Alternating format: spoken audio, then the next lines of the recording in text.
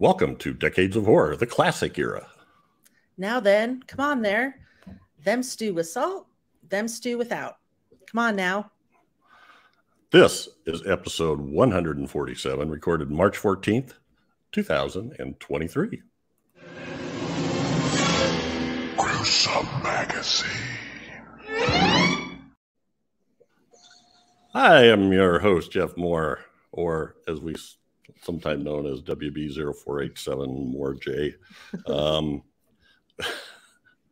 on this podcast, we cover the good, the bad, maybe even the ugly horror films released since the beginning of time through 1969. In each episode, we'll discuss the monsters, spirits, psychos, and villains that have haunted movie-going audiences since the dawn of film history. Ah, you know, we've been partnering with Play Now Media, and we got we got podcast episodes up on their streaming apps. So Classic Era is on uh, Sci-Fi Classic, uh, Classic Sci-Fi Movie Channel, Classic Horror Movie Channel, Wicked Horror TV Channel, and the free Classic uh, Movie Channel, a free Classic Horror Movie Channel, and the free Horror Movie Channel. Uh, 70s and 80s are also up. They're both on the Wicked TV, Wicked Horror TV, Wicked TV. Search Wicked, you'll find it. Um, the uh, and the uh, free horror movies, and I believe retro horror, which is 70s, 80s, and 90s. However, that is currently just on Roku, I believe. The other ones you should be able to find for Amazon, etc. All right, and check those out. There's a lot of good movies there. And in fact, we watched today's selection on the classic sci-fi movie channel. All right. With me this week are my incredible co-ghosts. Uh, Chad Hunt is not able to be here, but I am joined by the uh, Decades of Horror classic era women whose names end in That's right. They do. Oh, I just like to have fun, you know. Got to slip a python in there wherever. Yeah, I should have lived That's great.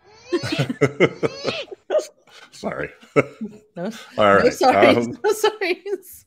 No, all right. First up is uh, Whitney Collazo, an accomplished artist, makeup artist, and writer. Whitney, how you doing? I'm well. How are you? I'm good. I'm good. Winding down our California experience here in the last few days. So yeah, be good to be back home. Mm. Well, they had a blizzard this weekend. It's March. I don't know what's going on. Oh, Anyway, uh, also with us is Daphne, who's awesome, stupendous, and likable as hell. Daphne, how you doing? I'm doing really good. Good. I'm, sorry Chad's not here, but as I always, it's too. great to see you guys. I'm bummed because I would really like to hear uh, what he thinks of this.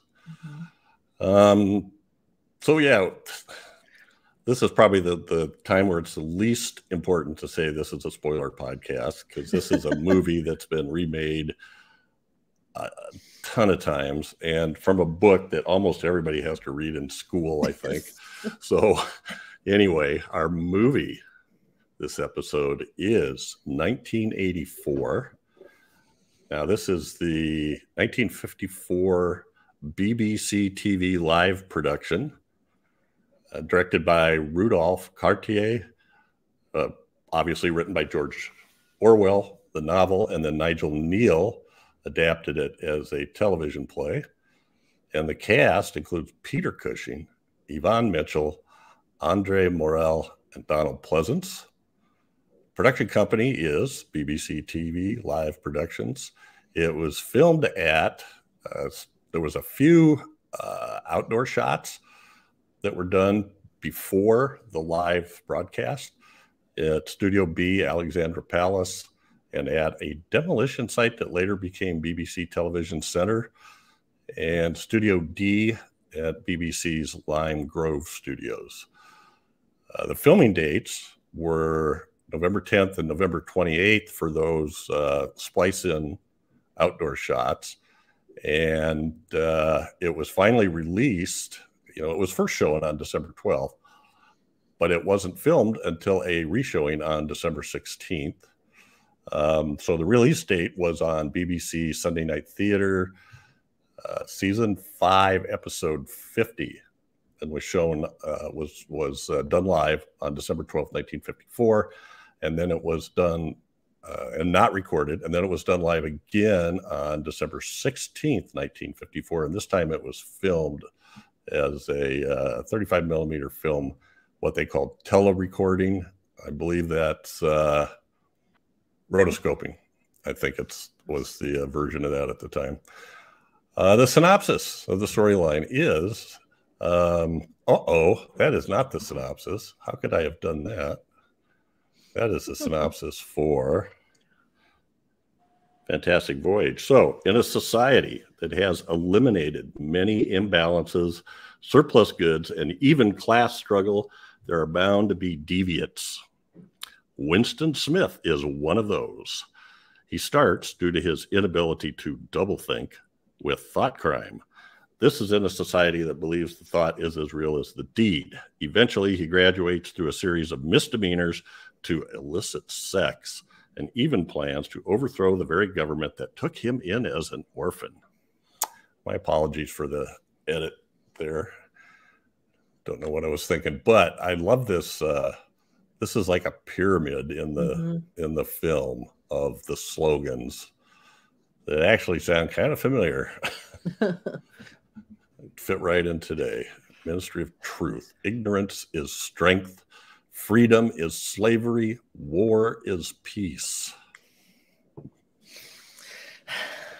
Uh, and the Ministry of Truth is not all that truthful, right? The Ministry right. of Love. Um, yes.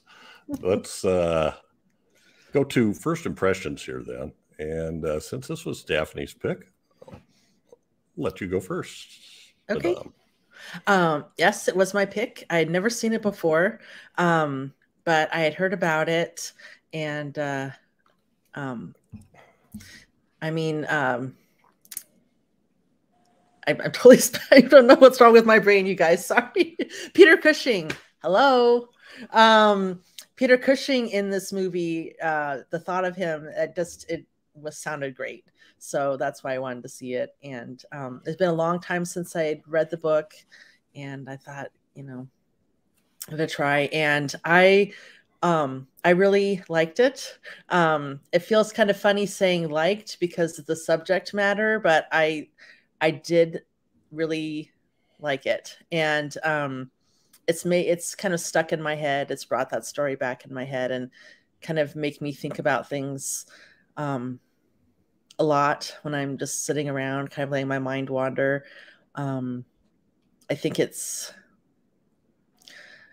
I don't know. We'll talk about it. Sorry to be a little vague. It's just pretty heavy stuff, and and um, Peter Cushing did a. I th- thought he did a great job.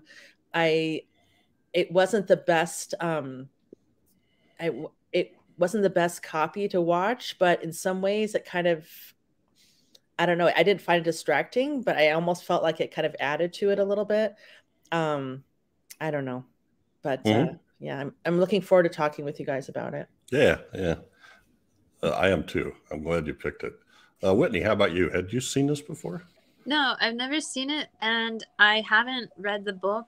Um, it wasn't something like in school that mm. I was approached with that I had to read, but no. Mm. Um, so yeah, this this is a uh, pretty hard stuff to sit through.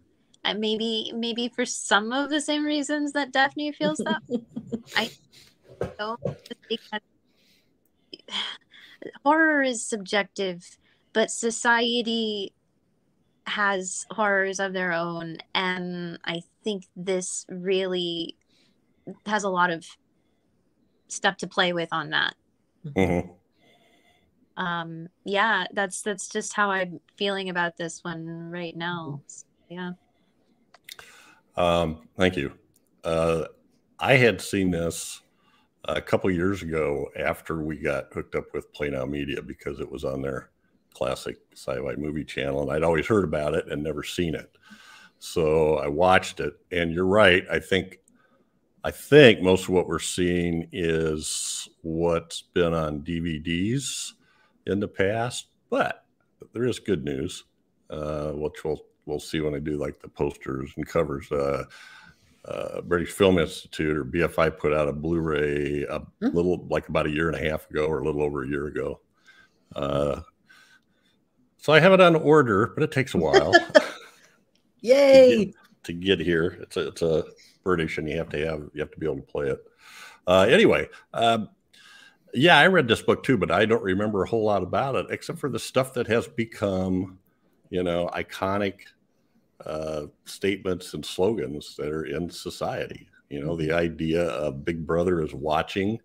Um, in fact, there's the TV show Big Brother, and then uh, you know these ideas of uh, double or uh, newspeak and double think and thought police it, it just becomes so part of the uh, I don't know lexicon, I guess. Uh, Big Brother is watching is something you could hear just about anybody say uh, anywhere. So anyway, uh, wow! I just I absolutely love Peter Cushing's performance is amazing. It is absolutely amazing, and that's what really hit me the first time through. This time through, I'm I was hit a little bit more with the fact that they're shooting this live, and some of the work that they did on it, you know, the lighting and stuff like that was pretty cool. You know, if they're if they're just running this like a play and um, they had to be on top of their game, I guess. Uh, and it is disturbing. It's very disturbing, and uh, I'm not I'm not trying to get into. I'm not going to go too far into today's politics, but it certainly resonates with a lot of stuff that's been going on for like the last uh, I don't know six or seven years, um, longer than that actually, but even even more so. So, uh, I mean, let's let's get exactly. Down. I'm glad that I'm not the only one going. Ah, uh, it's, what's that? That's I'm kind of I'm glad I'm I'm not the only one that's kind of.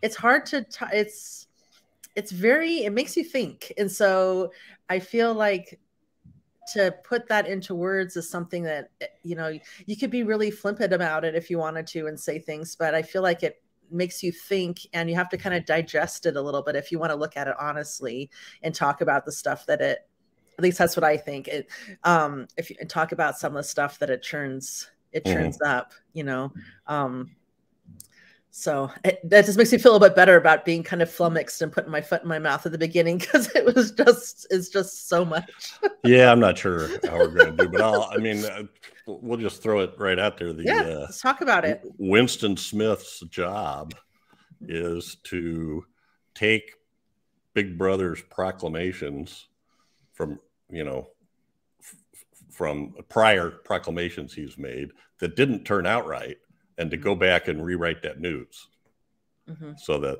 it and and his boss literally tells him well that's that's not that's not what happened so that can no longer exist mm-hmm. that report you know like yep.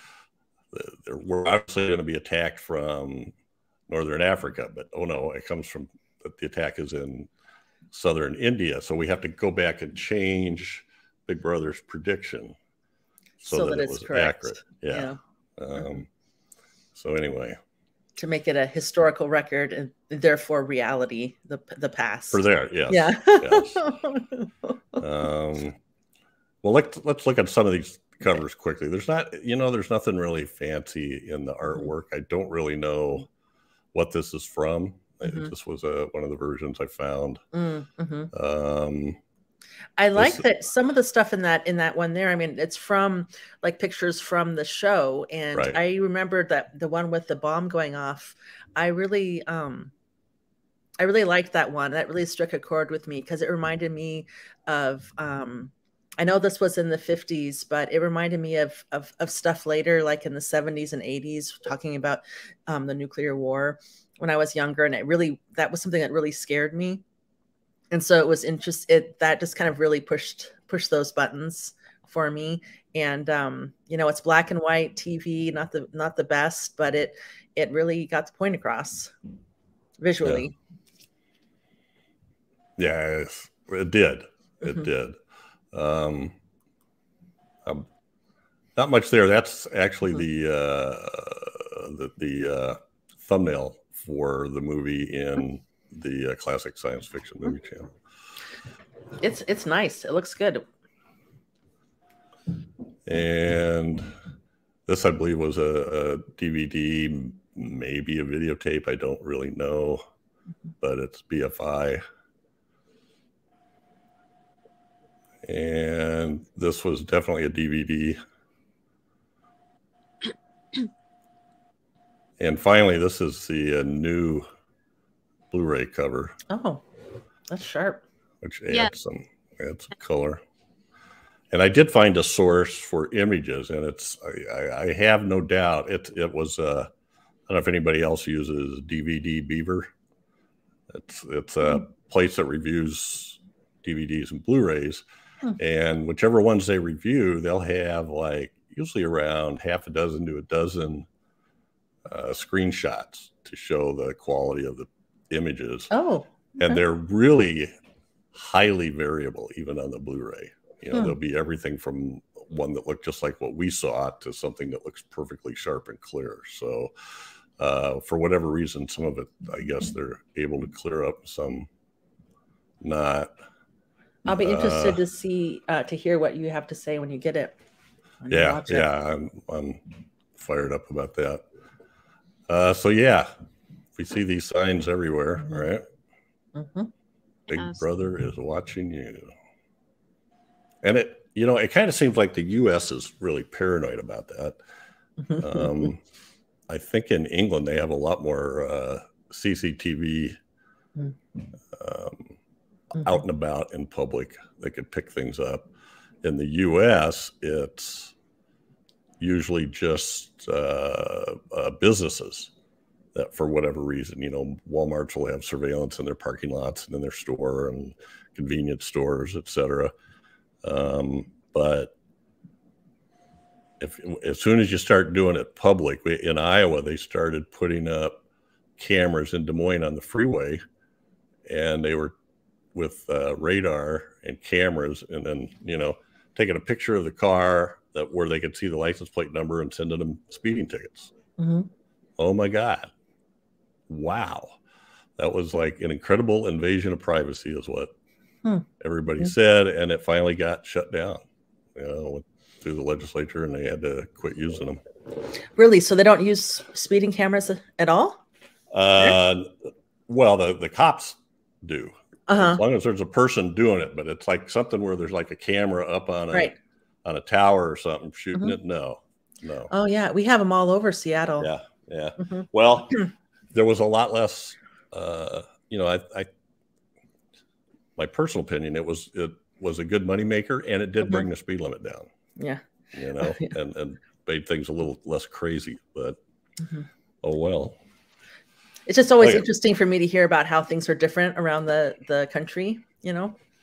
Yeah, uh, a legislator in Des Moines, I think maybe his son was driving his car and got a speeding ticket, and it went on his record because he was the owner of the car, and that was where it all started. And uh, mm-hmm. apparently, you could appeal them, and like seventy five percent of the time that you appealed, they just drop it. Mm-hmm. You know, so hmm. interesting. I don't. I, I, don't know the details on it. Just that mm-hmm. I thought it was a little weird that people got that worked up about it. Wouldn't you want to? I'd like it to be safer on the highway. I don't know.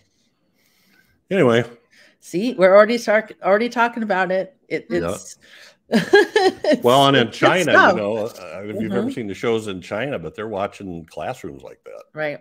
Yeah. yeah. So, right. Mm-hmm. Uh, so yeah, here they are. Mm-hmm. They're walking in the bottom. It's a little hard to mm-hmm. see, but um, and then I, I just threw these up to more signs. There's yeah. signs like everywhere. Yeah. Be ready to produce your papers. Uh, you are now entering the prole section. Mm-hmm. Um, and it would just be so weird walking around with your name and number all the time. Um, yeah. Yeah. On the on the front and back of his coat, right? Yeah. Yeah. I mean that just really gets it gets it home, gets the point across of um, so many things. it does. Uh, and this was the opening thing above the panel where somebody opened the panel up and pushed mm-hmm. the buttons, and uh, we got the three nuclear explosions. But Um, this rule is uh, what? What does it say? Infringement of this rule is punishable by death. And that, there's little things I, I like, like death Yeah. is capitalized. Capitalized. At the end of the good. I didn't notice that, but you're right. That's good. section 22 slash b slash yb uh so yeah um so let's see our two our two main people are uh, peter cushing and yvonne mitchell peter cushing of course is winston smith and uh, yvonne mitchell is julia dixon i think and they happen to work they're in the same cantina i guess for lunch she she actually works with the uh, automatic pornographic novel writing machine in Mhm. that in the porno sec porno which I found extremely interesting. um, they had to keep the, as they would call them, they had to keep the proles happy, you know. So Mhm. that was crazy. Um, I was really excited 'cause I s- uh, to see Peter Cushing. And that's part of the reason, like I said, why I picked this. I um really like Peter Cushing, obviously most of us do, and um, but to see him um in, in, in not necessarily like a Hammer film or a straight up horror film, but something that's um, just so really intense like this and he's just to kind of see him acting a little bit in a different role and i really think he was phenomenal and i was Mhm. just sucked in to his character and the story and his acting and um, i think he did a, fantastic job just looking at him now it's Yeah. he did so good Mhm. Yeah, definitely. No, I mean, I couldn't agree more just because, I mean, we're so used to seeing and knowing him for Rules for Hammer and then Mhm. seeing do uh, something that was more, like I said, with a societal thing. Mhm. It, it's, it was definitely more intense. Mhm. Um, I think uh, my impression on this was uh, that this was kind of his uh, sort of reputation making Hmm, mhm. role that it was so uh, it was it, it was talked about so much. I think the royal family talked about watching it, and that's why they played it again a few days later, and then Mhm. taped it. Um, Yeah, I think I read that too. So this is actually the second. So does that mean this is actually the second performance, but the first one live, uh, first one taped? uh, the first one was not taped, Right. So the first one was live, so this is the first one taped, taped. Right. Mhm. uh, and it was taped live, except Mhm. they had those few scenes I think that were shot outdoors that were done previously and then inserted Mhm. in the broadcast. Um, Second Yeah, and- performance, first one taped. Got it. Okay. Yeah. So Donald Pleasence, Did not know he was in this. So shocked when I saw. Pleasantly shocked, especially after just what we just watched a couple weeks ago. uh, there they are uh, waiting in line for the stew with salt and stew with that. Mhm. Yeah. But, and what's his job? um newspeak he helps write newspeak right Yeah. the dictionary He's, he's writing the 10th revision of Mhm. the Newspeak dictionary, I guess. And he talks about um, taking words out of language um, um, and the and the beauty of having less words that are as I bumble over words to just take away words so that eventually it's hard to really communicate because there's only one word that exists with no no no uh, distinctions around them or no Right. layers or yeah Right. What does he say? We're not only inventing words, we're destroying it's them. destroying words yeah capital. And I remember him talking about uh, there's no more extraordinary, no more superlative, no no more wonderful. It's Mhm. just all good, good plus or good plus, pl- good double plus, I guess. yeah And Mhm, then no more bad or terrible. It's ungood. mhm. Uh, Yeah. And he was really proud of that. yeah and i thought his the dialogue just really pointed out how um, just the thought control and the the level of thought and um, just way that everything is just kind of being brought down and destroyed slowly and slowly but there's like this bigger plan that they're moving towards where they're eventually going to destroy you know totally control the past and thought and what words mean. And that's such a big concept. And then just when he talks about the dictionary i feel like i just really get that point across. And the more you think about what that would mean if language was like that and that when you try and communicate with somebody if there's if if you if you don't need to say bad anymore because um what was the new speak for bad Ungood. ungood. Yeah. So if you don't have bad anymore, it's just ungood. Essentially, like bad doesn't exist. Uh, it, good. It, it's just so Right. complicated, and they did such a good job of ex, of explaining really what that means if you take away language and how with that word with with language you can't communicate or have ideas Right. Or thinking and that's to get it into such a succinct um obviously i'm an excellent example of how hard it is because i'm doing a terrible job of, saying doing it succinctly but Words his are hard. character and yeah words very hard um um his character and the dialogue in that i just it was unsettling and disturbing and very clear and i thought it was great you know and I have to get personal for this for a second. And Mhm. I'm, I don't, I'm not gonna apologize for this because like hearing that was so chilling, considering something I'm doing right now, like is like going and like some would say connecting cultures, reconnecting roots, and Mhm, mhm. not what language like it made me think you know a lot of people like have lost cultures and languages and like and now this is talking about that and hearing that in the story is like man how many times have i cried because i think about the language that i'm picking up on that not many Mhm. you know know or realize that a lot of people have been severed from those cultural languages and ties Mhm. but and their whole stories, right? Their whole stories and histories of people. So yeah. Anyway, I know it's a little off, but in a Well, way, not so much because it's just it's eerie. You know, it's really eerie, like the subject matter. So, it feels like even though the so the book 1984 was published in 1949 and i haven't looked this up so i could be wrong but i always heard that he wrote it in 48 and the reason it's 1984 was he just swapped those numbers Mhm. 48 to 84 but um i don't know why you would otherwise arbitrarily pick Mhm. a time 36 years in the future as Mhm. yeah. having all this happen. But anyway, um, so where are we now? Uh, let's see, 50, we're over 70 years later, and it feels even more appropriate now. It feels like there's whole sections striving for this, Mhm. you know, whole whole portions of society.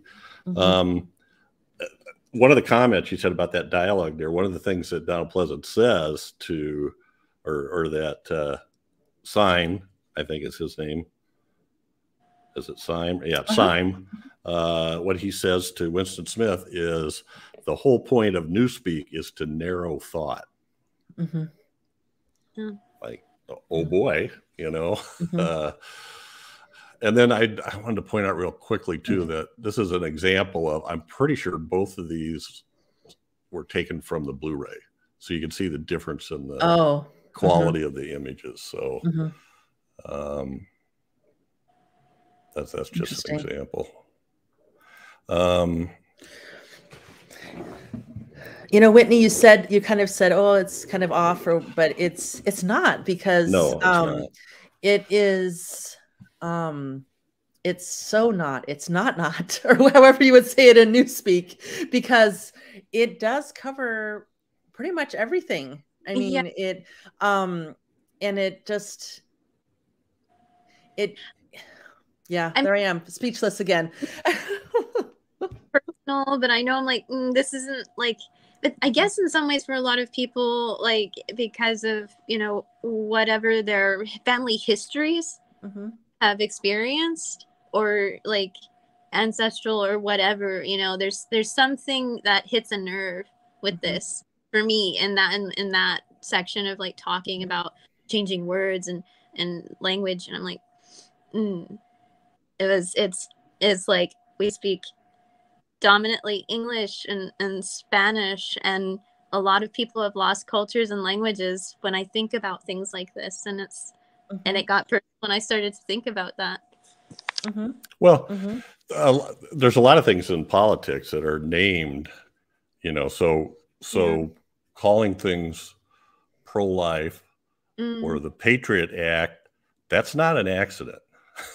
Mm-hmm. That's to make it hard for you to say, I'm not pro life or I'm mm-hmm. I'm against the Patriot right. Act. How can you be against the Patriot right. Act? You know, uh, mm-hmm. they they name it things like that to to make it uh, tough to um, to go against. Anyway, um, yeah. So what happens is uh, good old uh, Julia is she works in this section where they have this automatic writing machine that writes pornographic novels.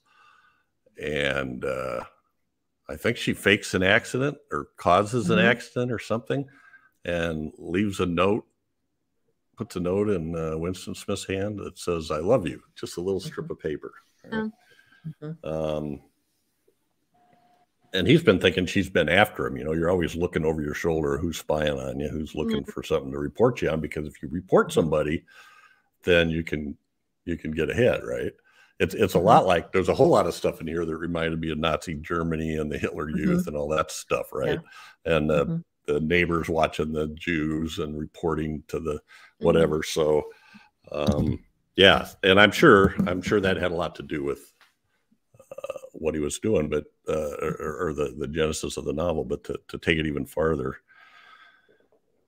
Well, um, and up to and in before um, Julia gave him that note, you see that he has already been kind of struggling himself with uh, thoughts of questioning Big Brother, oh, and oh, yeah. that he's he's been breaking some rules on his own just by writing and and um, having thoughts and and going and kind of exploring things in the proletariat area or the prole.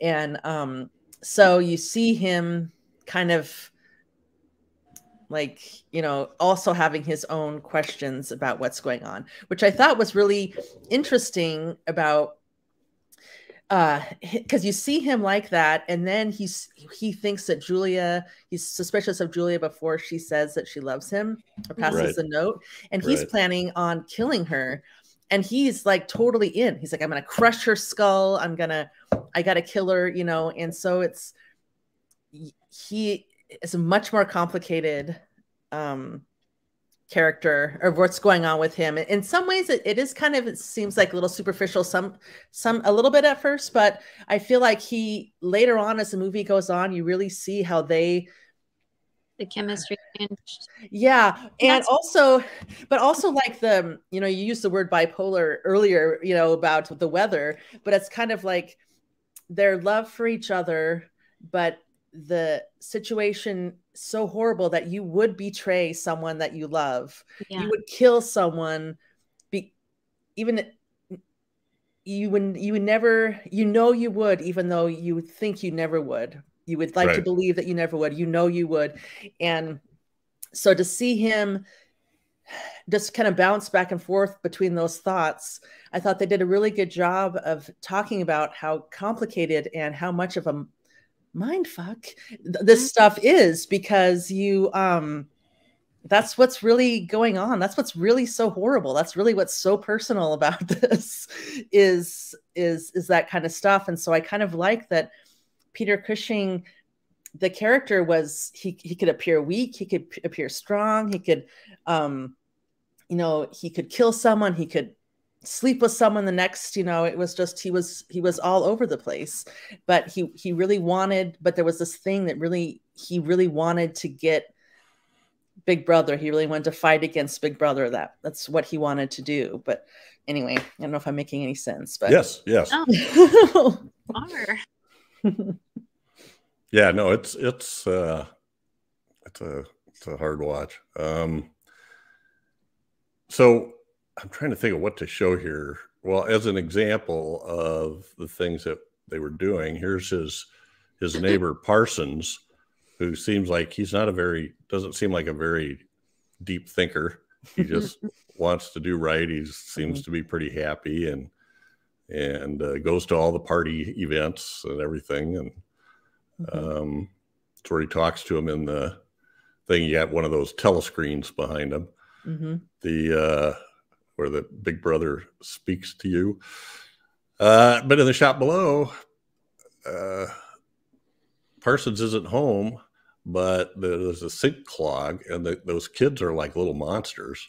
Yeah. But they're allowed to be little monsters because the parents are scared to death that they'll, you know, report anything, any minor thing to the Mhm. party, and something will happen to them. So, uh, and in the end, that's what happens to Parsons, right? Mhm. Apparently, he has a dream and says, "I hate Big Brother" in his sleep, and his daughter turns him in, and Mhm. there he is. So, uh, those kids are just, oh Lord, Mhm. it just goes to show like and like certain things are taught you know Mhm. With how children see things and how they're raised and i'm like oh gosh you know Mhm. they, they definitely portrayed this in that story and like what was it the the girl um when she was asked about like seeing some foreigner and she said oh i, I had to say something because they wore different shoes or something and I'm like, right? what Right. oh Well, even even in Right. the scene with the Mhm. sink, she's yeah sh- she's every single act is a suspicion of something. mhm. So, you know, Sabotage. how- yeah. yes. How Mhm. did yeah? Their sink is clogged, and it's some sort of sabotage to make her late for her Mhm. party meeting or something. The, Mhm. and then and then uh, when when uh, Winston unclogs the sink, it was like, oh, well, you did it anyway. How do you Yeah. know so much about sinks? Yeah. You know, it's like, oh my Mhm.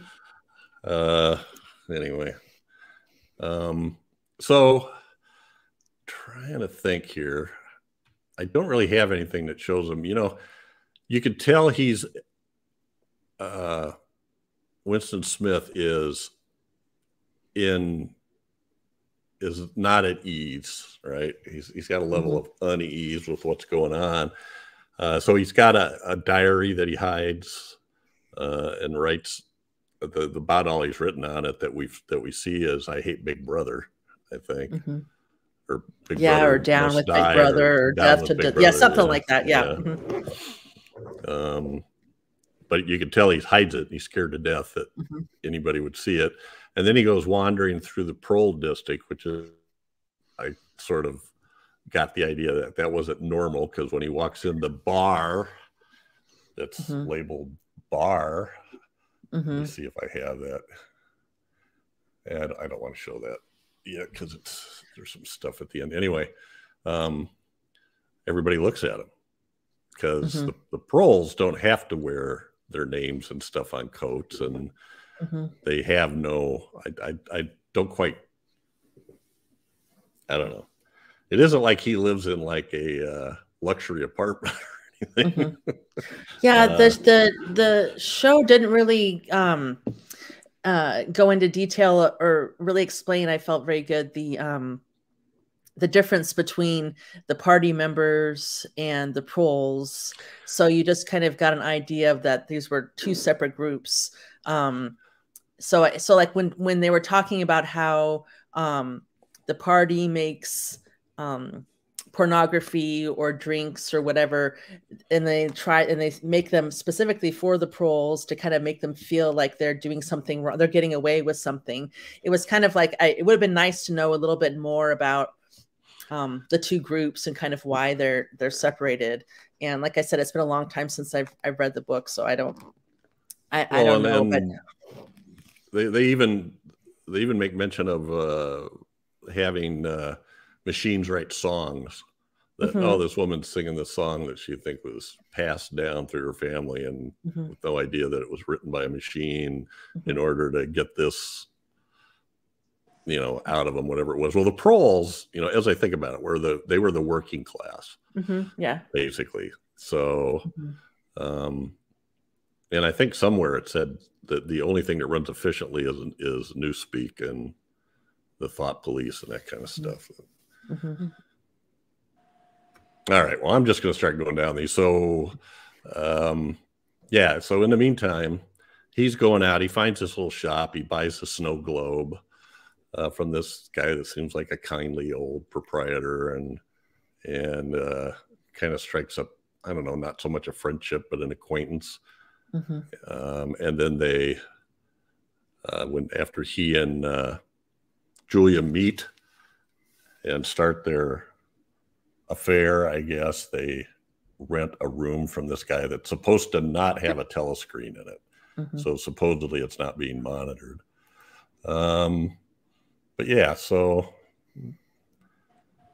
and uh, you know, it doesn't take hardly anything for them to like totally dive into it. But when you've Yeah. lived your entire life without any affection or touch, Right.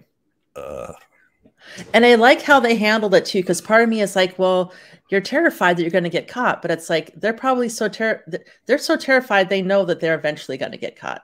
Right. They know everybody knows that at some point they're going to be wrongly accused or killed or caught or whatever. So I can understand where at that that point you're like, I'm just going to trust you, or I want to tell myself that I trust you, and I'm just going to do it, you know. And so they all you just instantly just love each other and um sleep with each other and share you know everything all your secrets because you who else you're going to talk to and i thought that was really interesting too i mean that's such a such an intense and powerful um concept and, and thing to talk about that this desperation where you kind of tell yourself certain things or you allow yourself to take risks because you already know you're a dead person yeah. you know it's um yeah And I kind of felt like that bottom picture is sort of showing that she has kind of a they they don't they're comforting each other, but they don't Mhm. either one of them look at peace or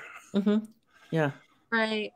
I mean, like I said, I I was a little I was a little confused because I I didn't see him, you know, at first having feelings for her or Mhm. you know, happening, but it did. And then to and today with what's going on with them, yeah, though the feelings could be genuine, but also when you're put in a situation like that they are in, people would call it trauma bonding, and I'm like, mm-hmm. that's Yeah. really right yeah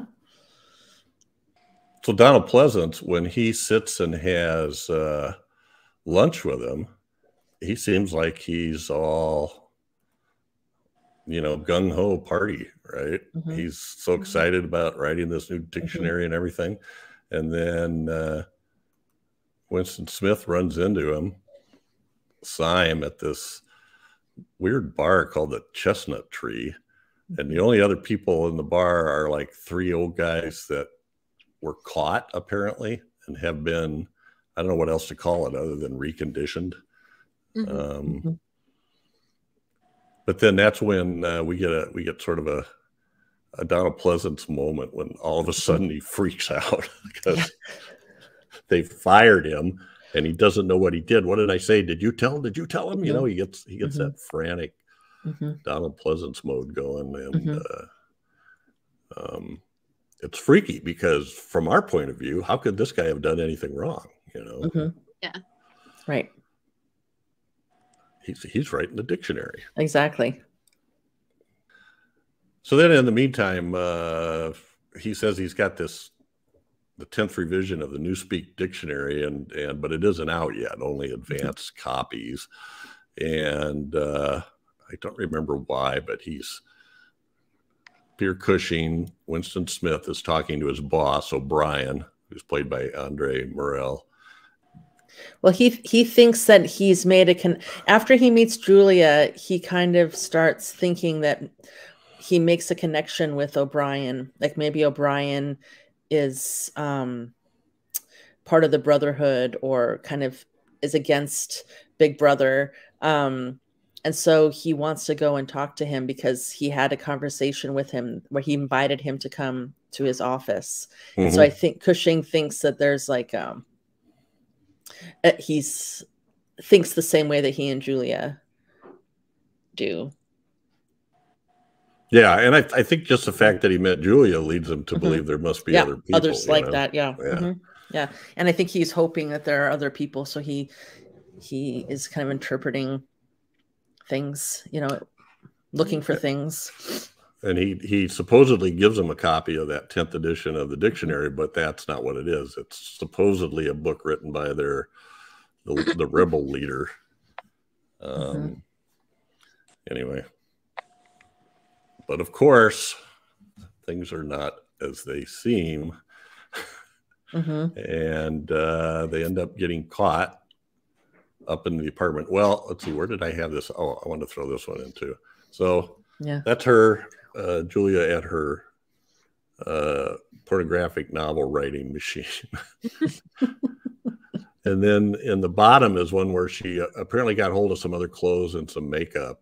Uh, mm-hmm. So when they go to their new hideaway, she dresses up um, yeah. Mm-hmm. and, and, is excited about that. feels feels good, and um, so that that was kind of a cool scene. Mm-hmm.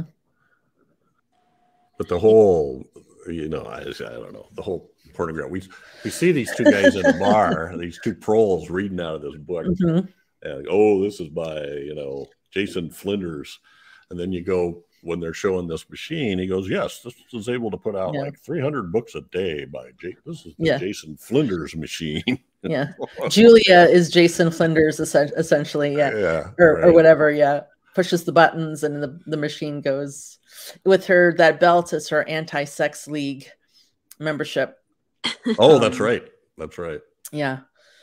Well, because uh, uh, love is a sex crime mm. right? Mm-hmm. Yeah, because it indicates loyalty to the individual rather mm-hmm. than to the party and Big Brother. Mm-hmm. So. Right, or even the potential, the potential for it. You know. Mm-hmm. Um, but seeing so, her with her like changed, you know, and looking eh, the way she looks in the dress and everything. I don't know about you guys, but I was I was nervous right there. I'm like, oh no, this is where things are gonna go down. Yep. Well, there was a sense of foreboding through the whole thing. Like you, you like them. You're like, okay, when's it going to happen? Right. Yeah. Yeah. yeah. yeah.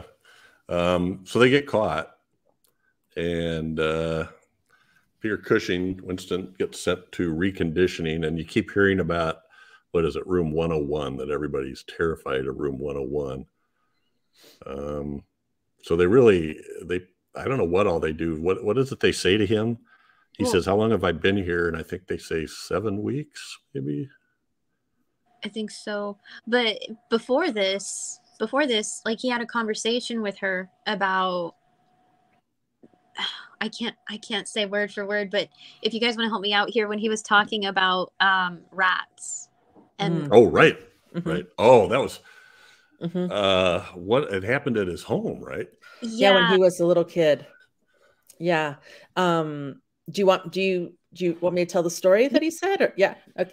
um well he he was admitting he was had never told anybody before so he was telling julia um because because there was a rat and the and their little love place and um that his he had a little sister who was sick and his mom uh, was working really hard and wasn't at home and um, she like there was only a little bit of food and he was supposed to give some some bread to his sister and instead he stole the bread because he was so hungry and he ran outside to eat it and when he came back the rats were eating his sister and so they that's when they introduced the his fear of of rats mm-hmm. Is that what you yeah, were talking about? Yeah, they're doing something in the apartment, and all apparently there's a rat there, and he mm-hmm. just totally freaks out. And, mm-hmm. Yeah.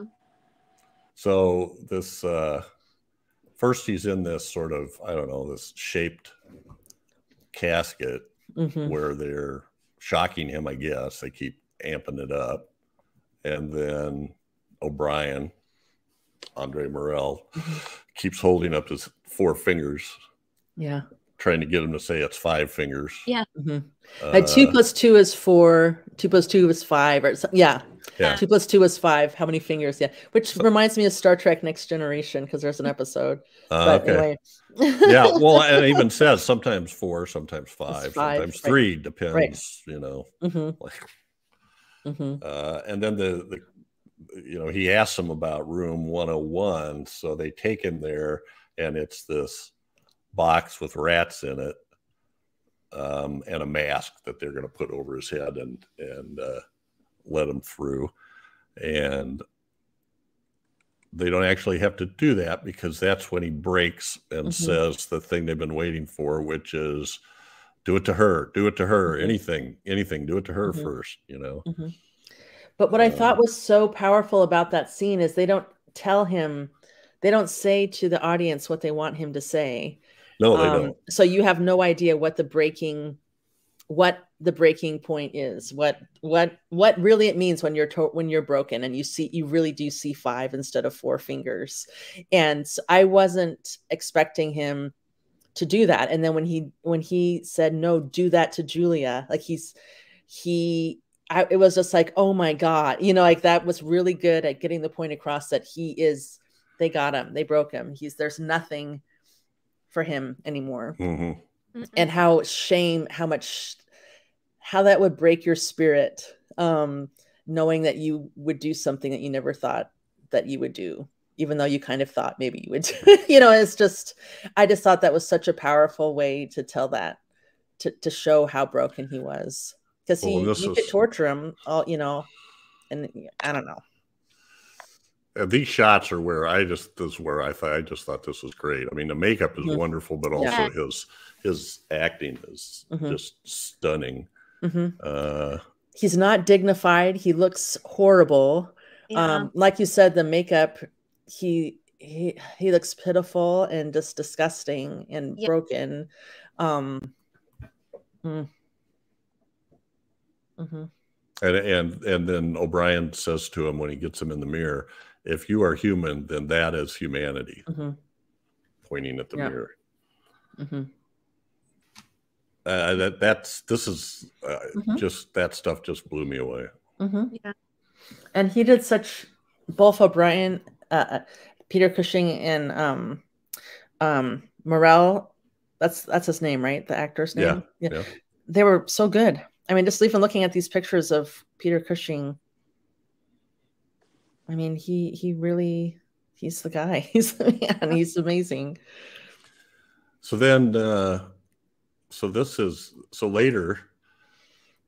Uh, now that the I don't know what you want to, they don't really call it anything. I don't think. I was thinking of it as you know reconditioning or something. Or uh, he's walking into this chestnut tree bar, and Julia's in there, Mhm. and she's looking worse for the wear too. Yeah. yeah. And in fact, her voice is very hard now. Mm-hmm. And the minute he says something to her, she does it. First thing she says is, I gave you up or something like that. I be- yeah. hmm I betrayed you. I I betrayed, you. you. Yeah. And he's like, What? I betrayed you too. Mm-hmm. And then she like gets up and leave. hmm Um, and the guy says, You want me to save a place for you? Nope. I know it was. There's just I don't know how there's just nothing there, right? You, right. Yeah. You look at her eyes and they're just Mhm. uh, broken. And then Mhm. Peter Cushing in that bottom picture was Mhm. his sort of state at that time. He was Mhm. he looked better than he did when they were torturing him, but Mhm. it, it was just vacant. Mhm. Um, and then I just threw that shot in there on the top. That's. When he's sneaking into the prole bar. Mhm. Right. Before he meets Julia, before any of this happens. Yeah. Right, right. Mhm. Yeah. Uh, I it's because uh, Andre Morell has a big kind of monologue thing too, where he's Mhm. just like saying, you know, don't think you're ever gonna, you know, the whole point of this seems to me to be they gave them they totally manipulated them. They gave them some hope, Mhm. almost led them to it, it seems like a little bit, Mhm. and then pulled it away and said, nah, Mhm. there's no hope. Right. It's never Right. what you're what you're hoping for is never gonna happen. Mm-hmm. Mm-hmm. Mm-hmm. And you know, there aren't that many. I mean, I could talk about this in so many ways, um, if I could find the right words. But um, oh, what I was going to say was, eh, you know, how often do you see? I mean, we talk about like the '70s. There's always a sad ending or whatever. But I mean, how often do you see where it's like, no, yeah, these people are broken. They're gone. You know, and there's no hope. There's probably going to be no hope. If there is any hope, there's hope years and years and years ahead. People know what they're doing. They know that they're that they're going to die, but maybe it's going to be for some reason in the future. I mean, it's such a dystopian, horrible ending, mhm. and you don't see that very often. So I Well, do and I appreciate think those it's- endings too. Was it the uh, uh, periodically they get these updates from the telescreen, and I think one of them wasn't one of them the Ministry of Plenty. Yeah. Yeah, telling them Yeah. how production was up so many thousand, hundred percent on this, and so Mhm. much on this, and, and the whole all through the movie they're looking for razor blades because nobody Right. can get any razor blades. So Right.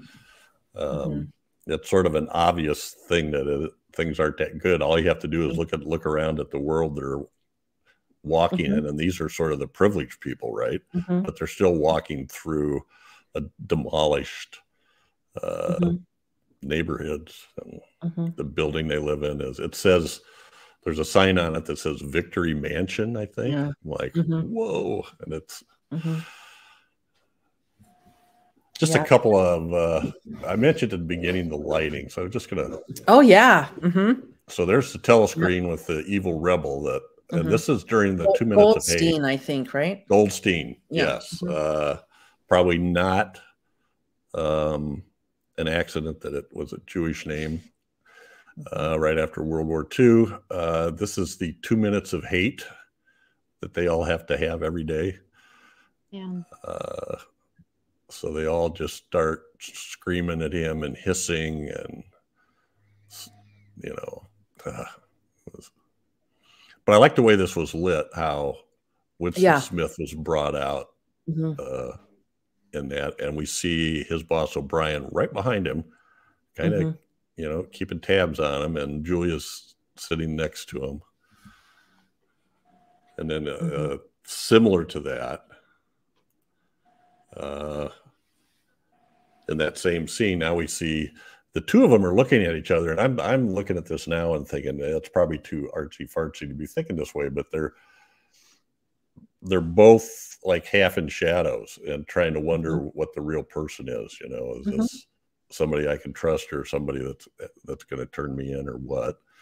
Mhm. Uh, and there's Morell, essentially, uh, or O'Brien, the character's name, Mhm. essentially, uh, Big Brother watching Winston Smith in a way. Mhm. Mhm. Already suspicious, I think, or or always watching. Maybe, maybe not suspicious of him, but always watching. Not to not to dive away from the the plot of the movie or anything, but I have to mention this guy because he's he's one of my favorites. Uh, Wilfrid Brambell. So he played both the Oh, old guy in the bar Mhm. that I think was the first one to sing the uh, the song "Oranges and Lemons," say the bells of St. Clement's, um, and then was also the guy when uh, they were sitting in there. I don't know what it was, a holding cell or whatever. They kind of bring him in, and then this uh, goon grabs him and drags him out. He plays both those characters. Oh, he does. I didn't. Yeah. I didn't catch that. Um, Mm-mm. And the reason I bring him up is because he played Paul's grandfather in A Hard Day's Night, there you go. which is one of my favorite movies. And also, you know, I, I'm a Beatles fan, so I'm going to throw it in there. Uh, Good. he was described as a real mixer, you know, a troublemaker. but then they always said, "Oh, I, he's very clean." Who's that I little love old those man? pictures. Yeah, and then the bottom one is a British show called Steptoe and Son, which uh, Sanford and Son, I think, was derived from that. Was was somewhat based on that. So, not having ever seen the show, Mhm. I assume it's a man and his son who run a junkyard or. Uh, Hmm. Interesting. but I think that's uh, the, the British might know him better for that. Uh, so just one of those interesting character actors, I think that you almost don't recognize from role to role. hmm He had a great face. Yeah, the line the line in the Hard Days of Night is every time somebody sees him, they go, "Who's that little old man?" And oh, that's Paul's grandfather. Oh, I, he's very clean. He's very clean. Anyway. Um, I just wanted to bring him up, and then you know we talked about uh, we we didn't talk about we've talked about Donald Pleasence and uh, uh, Peter Cushing endlessly, Hmm. but I do know that uh, Andre Morell was in some. Pretty sure he was in some Hammer stuff. Now people outside are going, you know, the, the Hammer fans are going Hammer stuff. Um,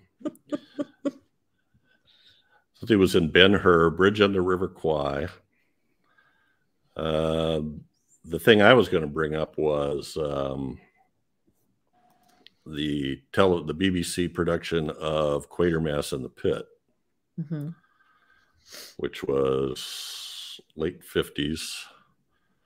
Well, he was in the camp, the camp on Blood Island, which is Hammer. I remember. Yeah, sorry, Jeff. I I Oh, saw that stuff too, but I can't remember where it is. 58 to 59. Mm-hmm.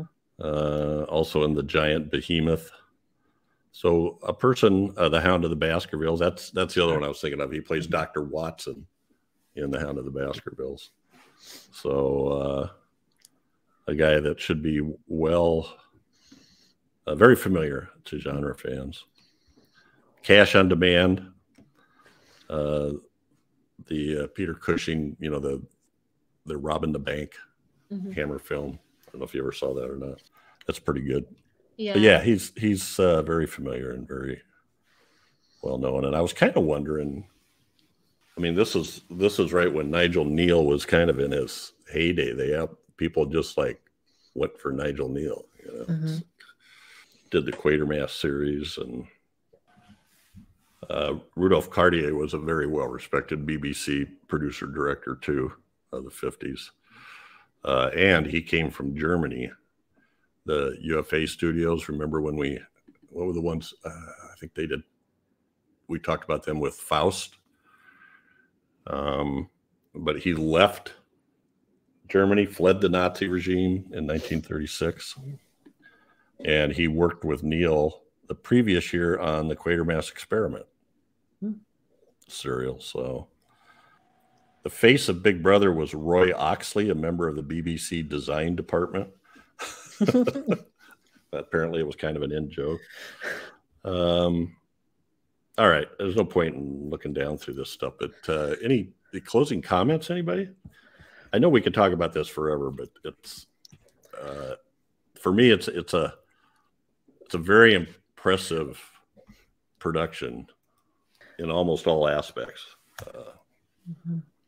I mean, I forgot that it was live, you know, when I was watching it. Mhm. And it, you know, it, it did, it, it was impressive. Um, and of course, it makes you uncomfortable because of just the subjects and what the characters are going through. And then it, you think about what people around the world are, are facing in their lives um, in certain situations what what you have versus what you don't have and and if, you know love is everything or so you think but then like you see what those two are going through and what they end up doing to each other it, it really makes you think about what is it that you value.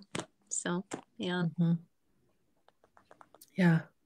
And I, I, I, it's interesting you said uh, makes you think because it does definitely make me think, and um, it stuck with me um, since watching it a couple weeks ago for this, and then, and I also like that you said you're not going to apologize for what you say because um, I feel like in our how things are now and have been for a while, um, you know, it's it's really kind of easy to to poo poo um, or not listen to when people want to talk about these things um, mm-hmm. genuinely and legitimately. Um, and I feel like the stuff in this movie, and, and I, like I said before, I haven't read the book for a long time, but my understanding was that Kneale did a, a pretty close to the book um, version in the screenplay. Um, but I think he really brings up a lot of really important things. Um, and I mm-hmm. love when movies make me think. And I love when sci fi or genre or whatever horror movies really get down to it and um, show all the cool stuff that they can make you think about. And um, I am so impressed with how uh, they got you to think about the big picture of taking you know control over society and you know the winners tell the history and all the people who don't have a voice in that mm-hmm. and how it can beat people down or the system can can can do that and how it goes from that but also makes it very personal and um, really gets to the humanity of a lot of these people and and makes those things really personal and on top of that, these actors who I feel like really did an amazing job and really made me think and feel about what it might be like in that position. Um, something that I thought a lot about and was was um, kind of struck by was when O'Brien was talking to Julia and um, um, Peter Cushing's character and was trying to get them to say, you know, like, would you do this? Would you do that?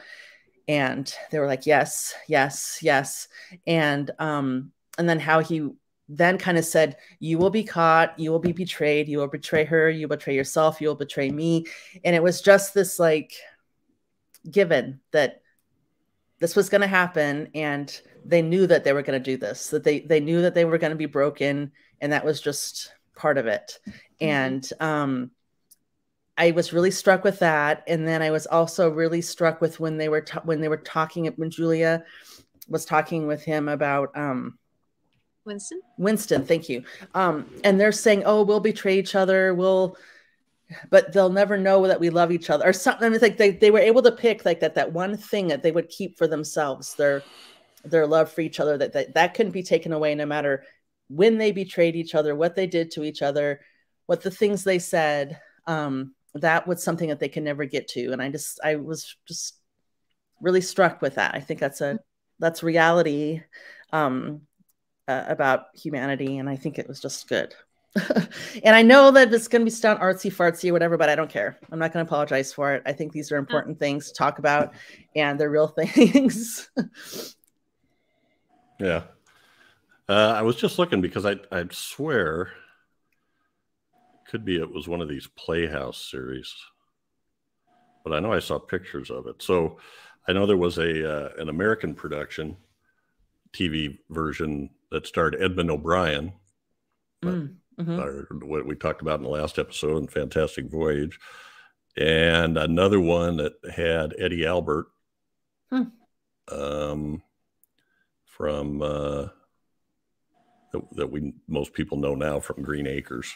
Um, and then there was the actual, there was a major uh, studio film in 1984 that starred John Hurt and John Hurt. Richard mm-hmm. Burton. Uh, so I'm kind of wanting to go and see those now, though I'm not sure I can take the. mm-hmm. I have seen the John Hurt one before, and I remember being, you know, being affected by it, but I don't remember much.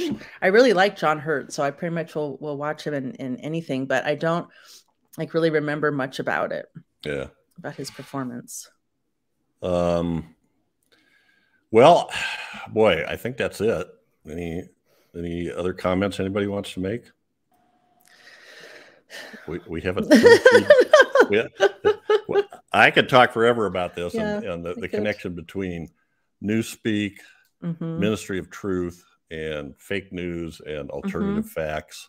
I mean, mhm, mhm. it's uh, it's kind of It was And- really. It, it made me feel really. Um, I don't depressed. You know, like I don't know if depressed, depressed, but it was just of like, is this ever going to change? You know, is Yeah. anything going to change?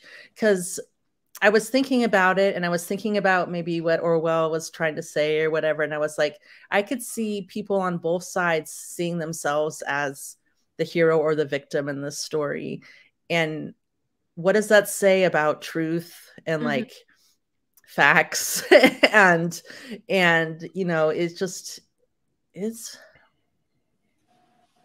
Yeah. Definitely. All right. Well, let's move to. We- We do have a bunch of feedback. Um, so if you guys want to take this, uh, Daphne, uh, first one was some recommendations Mikey Z made a while Okay. ago. hey mikey z um been a while since i offered suggestions so here they come classics ghost of frankenstein 1942 werewolf of london 1935 dr x 1932 and return of dr x 1939 All fine suggestions. Yes. And I have no doubt we'll get to most of them if we keep going. I've Thanks, looked at Mikey Dr. X a couple times. So thanks, Mikey. Uh, and Whitney, are you up on these? Yes, yes. Okay. Uh, we've got one. This was a comment when I put up the uh, schedule for the month. Greg Miller, a listener from Australia, oh put this in. Okay. Greg Miller says, very excited to see the Nigel Kneale version of 1984 because it made me check if if the years ago promised BFI release had finally come about. It has. Ordered to replace the copy of this, a very murky multi generation copy, with one in which you can actually see what is what is happening Yeah, yeah, yeah. Um, so yeah, this was Greg was the one that made me go what? And I jumped Yeah. on it, and uh, there's a there's a uh, I forget the name of it now.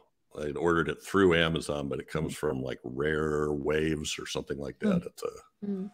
uh, company. Do you know the if there's anything else on the on the um new version? Uh, there is some extras, but I can't remember what they are. Okay. Um, so I'll let you know as soon as I get home. I think it'll be there when I get home. Uh, all right. Uh, so I'll go ahead and take this one. So for uh, episode 145, Faust, uh, Gregory Crosby, which is another a, a, new commenter that I have a really long comment of um, that we'll read if we have time. Yay, Uh, great. it says, yeah, excellent episode. I strongly suggest you see William Dieterle's All That Money Can Buy, 1941, aka The Devil and Daniel Webster, a brilliant proto noir that will knock your socks off. And then watch Dieterle's strange and romantic ghost story, Portrait of Jennie, 1948. Highly recommended, though neither are horror. Uh, but All That Money Can Buy is close. Hmm. So, of course, thank you for that. And we talked about Mr. Dieterle, and I think we mentioned the Devil and Daniel Webster. It sounds familiar. And uh, um, so I watched it. I can't remember Ah. where I watched it, and it is. It's it's really good. And the to me, the peak of it is uh, Walter Huston plays Scratch, the Hmm. you know the Mephisto type character, and uh, wow, boy, we, we lost Whitney. I hope she gets back. Yeah, me too. Um, so anyway, Awesome. yeah, thanks for the suggestion. So I watched it, and yeah, uh, Walter Huston is awesome. and it is a great morality tale. Okay, I didn't quite get the proto noir though. Hmm. Didn't Maybe Gregory can yeah follow yeah. up on that. Um, but I, I would agree with it. It's brilliant. Uh, Daphne, you want to take uh, or Whitney's back here? Hey, Whitney. Sorry. Oh, for a second. That's all right. That's all right. Uh, you see the Scott Wells had one on Faust. Yes. Okay. Scott Wells. He says Scott Wells. So I'm putting on my historian and folklorist hat here. Believe it or not, Faust was a real person. Johannes Faust was an alchemist, magician, and scholar who lived in the 15th and 16th centuries in Germany. He was often the center of a number of scandals and controversies, and rumor has it died in an explosion in his alchemy lab. Oh. His name became a popular Rumor it. his name became a popular one to attribute to tales of magic and morality after his death. And even today, there are a number of grimoires or books of magic that are attributed to him, including Praxis Magia, Fausti, and Black Raven, the threefold Corsican Hell. As his folk tales grew, so did his legend. Christopher Marlowe wrote his play on Faust in 1589. It's Marlowe's play that both, you know, I'm sorry, I can't, I'm sorry if I'm not pronouncing this right, Yeah, but uh, Goethe Yeah. and Goth, Goth, Gonode, and this film draw from their stories. Great show, guys, and touch on a lot of my favorite things, as you couldn't tell from the rambling, boring history lesson. yes, yes. Oh, that was awesome. I It didn't is. know any of that. That's so great. I'm not gonna look to see if I can order those books anyway. oh, you're not? Tap, tap, no, tap, tap, tap, I'll tap, never tap. do that. the uh, thanks, Scott. And Scott Scott's got his own website, and I'm sorry, I'll I'll try to put the link in uh, the show notes. I, I don't recall it right now, but he does uh, a lot of good horror related stuff. He was very knowledgeable, so yeah, appreciate bring on the history and folklore. appreciate it, Scott. Mhm. Uh, okay, then Mikey Z again on uh, Faust.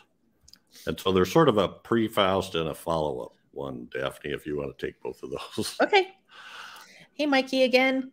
Um, Mikey Z, the biblical story of Job might be the inspiration for this tale of manipulation and faith. Never saw this, heard much about Emil Jannings' performance and his and the visuals. After seeing the podcast, I will definitely seek this out. You absolutely should because it's very good. Um, Mikey Z had heard much about this and Emil Jannings' performance as Mephisto. Fantastic imagery that definitely inspired the night on Bald Mountain segment of 1941's Fantasia. Special effects are superb, even for now. FW FW Murnau expertly directs this well-paced fantasy of corruption and faith. Would love to see someone like Robert Eggers take this on as a remake. Great podcast, Screw Crew. Need more silence. Well, he's lucky that a certain Chad isn't here. Well, and Chad picked Faust, though, right? Uh, yeah, he did. He did. He did. Hunchback So- celebrating a hundredth anniversary this year. Not really horror, but Chaney is fantastic. Yeah, well, I that sounds like a, a really good thing to do Mhm. sometime this year. Yeah. Thanks, Mikey. So we did go back and see it. All right. Uh, Good. for, let's see, episode 144, The Seventh Voyage of Sinbad uh, from Stanley Milton. Speaking of the casting not being Middle Eastern accurate, you should review Fifth Voyage of Sinbad 2014, starring and directed by Shaheen Shan Solomon, a Persian American. It has stop motion creatures inspired by Ray Harryhausen's Sinbad films. I actually built one of these critters for Sean, a giant crab creature. Wow. Awesome. Cool. I should have to check that out. Unfortunately, it's not within our purview to uh, to uh, review it because we're doing the classics in the 70s and 80s, but I, I will definitely check that out. Appreciate the information there. That would be And another Mikey Z for the seventh voyage of Sinbad. oh no, this one's pretty long. And then Ralph, uh, I'll tell you what, I'm going to read Mikey Z, just if that's all right with you guys. Um, okay. Seventh Voyage of Sinbad. My favorite Harryhausen between the fantastic color cinematography by Wilkie, the fantastic score by Herrmann, the wonderfully paced direction by Juran, and the exemplary stop motion by the legend. Uh, obviously, Harryhausen. I don't know anyone who isn't a fan of this 50s fantasy epic. From the creature designs, the acting, sets, and costumes, there is much at which to wonder. Torin Thatcher revels as Sokurah Ker- Kerwin Matthews, great as Sinbad. My only issue is the genie portrayed by Richard Eyer. Uh, needed someone like Rex Ingram to go toe to toe with Thatcher. Genie versus Sorcerer. There's a film I'd like to see. If only someone like Harryhausen were around today. Great to see Ralph on the panel to provide many insights on the film. Too bad no one mentioned the pop song associated with the film. Sinbad may have been good, but he's may have been bad, but he's good to me. Hmm. Even back in the 50s, they did whatever it took to sell a film. Fantastic podcast crew. Next one is guaranteed to be a classic. Great to see the great Ralph Miller on the panel to discuss my favorite Harryhausen of all time. Um, and I think this is like a duplicate stuff here. Uh, love the tate to tate between Chad and Ralph regarding which film was which. oh, that's right. Chad watched the wrong movie. One thing for certain Chad is king of taglines. I could go on for days talking about this truly classic 50s tale. Excellent insights by Ralph and the rest of the group crew. As Whitney described it, this is a magical film, as was the podcast classic as always. Silent up next. Got to get my reading specs on. He's talking about Faust. Mm-hmm. Uh, so then Ralph Miller replied to him. I don't know, Whitney had. Sure, sure. Okay. Replies and he says, Michael Zacks, I appreciate your diffuse praise for the film, and I'm glad you enjoyed the show. There's so much more we could have said about this film, but we yammered on for about the length of the movie itself as it was. The song is quite a novelty, and you can enjoy it on the 50th anniversary DVD or Blu ray 2008 that I recommended on the podcast. The music is accompanied by a series of Seventh Voyage of Sinbad stills. Very cool. I remember ta- him talking about that 50th anniversary thing. All right. Um, I am going to read this other one, which is really long uh, from Gregory Crosby, but it's interesting and it touches on all the decades. So we already read it in 80s once, but we're going to do it here in case people don't do both of them. Um, so, and we can stop and talk about them as we go. Dear Grue Crew, First, my sincere thanks. I stumbled upon the Decades of Horror family during the lost year of the lockdown. Amidst my search for a horror movie podcast that didn't inspire me to take an axe to the fiber optic cables of the internet. I dove into the archives, especially with Doc and Santos, and listened to nearly every episode.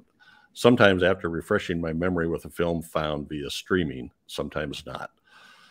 I pocketed a few episodes until I could see the film under discussion, especially Bay of Blood, which I finally saw on the big screen this past summer at the Museum of Modern Art's epic two month long horror film festival. Mm. Bravo, as ever, on your discussion of Bava, though I'm still mildly miffed that Bill missed out on the discussion of my all time favorite Bava, Kill Baby Kill, on Classic Era. Yeah, yeah, we didn't didn't invite Bill. I actually think Bill was traveling that time. I think I invited him, and he it wasn't going to work. Um, during these past two years, I've often wondered when I could get around to sending some feedback to express my appreciation for the hours of pleasure Decades of Horror has given me. Would it be to mount a spirited defense of Messiah of Evil?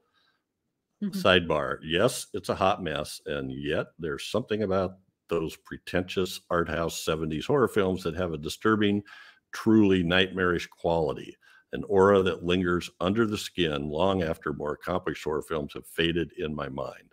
Messiah definitely fits that particular category for me. And I I believe we agreed on that. I mean, holy cow. Uh, there's a lot of really bad films that sometimes leave certain scenes are stuck in your mind that keep coming back. Right. All right. Go. I love I Um, love it. I agree 100%. Fantastic. That was wonderful. Keep So talking. then, let's see. Messiah fits that thing. Would would my first missive be an amusing anecdote about how the only monster that truly scared me as a child was the blob? Because I knew my mother would not allow me to sleep with a fire extinguisher. would my first email simply be an evil spell that, when read aloud by Chad, would turn into a severed hand clutching at his throat? Tagline: He's all choked up. uh best tagline ever, I think. Nothing ever felt quite right for my first foray into contact.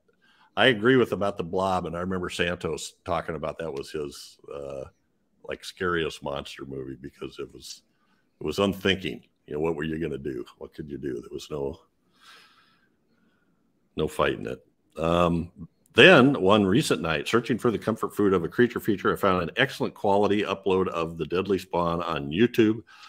As I watched the film, a curious thing began to happen. I could hear Bill's voice in the back of my mind describing the practical effects. I could hear Chad singling out his favorite scene. I could hear Crystal enthusing about the gore. I could hear Jeff describing one of the cast's obscure TV credits. I never do that. Uh, in short, I found myself listening to a Decades of Horror podcast that did not yet exist. It seems I cannot watch an old horror movie now without the voices of the Grue crew lurking in the shadows. Not that I'm complaining, mind you, but this is still an uncanny development. then I thought, aha, here's a reason to write to request the Deadly Spawn be added to the list of upcoming shows.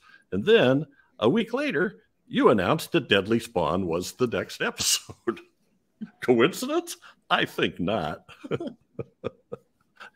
anyway, uh, kudos on that excellent episode. I was especially amused to find out the killing of the heroine wasn't an inspired horror decision, but merely an actor's sudden unavailability during the shoot. You will be pleased and or alarmed to hear that many of the comments made matched up with the ones I heard in my mind. I'm not sure what this means, except that I've likely listened to too many DOH episodes. Continue the excellent work from the classics to the 70s to the 80s. I know you base your selections on what's streaming, but here's a few suggestions. For classic era, Fiend Without a Face, um, Stop Motion and Fun, and The Flesh Eaters, vivid childhood memories of one very disturbing scene. For 70s, Bad Ronald, a TV film, also a haunting childhood memory. And for 80s, The Hidden, a movie I dug so much I saw it twice in the theater, but whatever comes down the pike, I'm sure uh, I'll enjoy everyone's impressions as always. I know this is a long email, so I suggest you wait to read it when you need to fill in time after one of those truly terrible films where there's nothing much to say, like The Ripper or The Howling 2. P.S. I identified my favorite Bava above as Kill Baby Kill, but I must confess that's my favorite Gothic Bava. My little black Bava heart truly belongs to Planet of the Vampires. Yay. All right. Uh, cheers, Gregory Crosby. So, Thank you. uh, and he describes himself as a poet, freelance writer, and editor uh, in New York. So, um, I hope we hear more from him. yes. And uh, as we said in the 80s when we read this, you can make short comments. I suspect you're somebody that enjoys the uh, act of writing, though. So, uh, whatever you feel I'm doing. Um, Write people- long comments too. oh, that was awesome. That's awesome. All right. So here we are again. Let's see. I now need to find. Ah, that's it for this episode. But every two weeks, we'll be focusing on a specific film released between 1920 and 1969. Next up is one chosen by Whitney. What, what is it, Whitney? Hasta el viento tiene miedo, which is Even the Wind is Afraid. By, From 1968.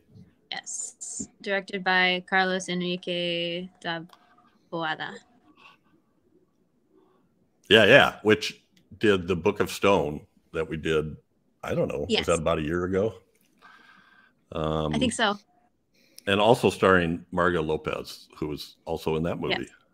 So if I remember right, this was one of his that was highly, uh, highly, uh, yeah, yeah. It was like when they talked about his best films, this was one Mhm. of them. So I'm interested. Yay.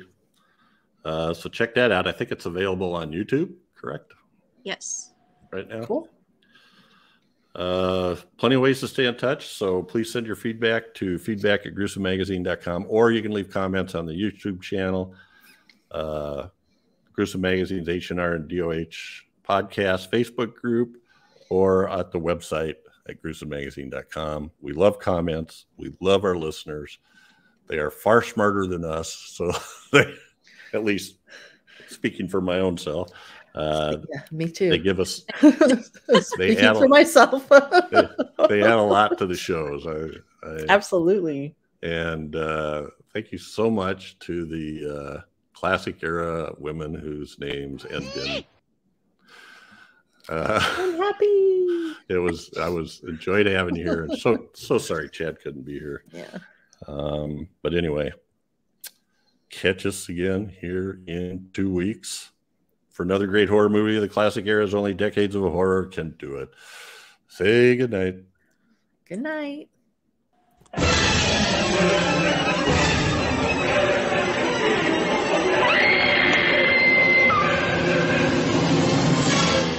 Gruesome Magazine.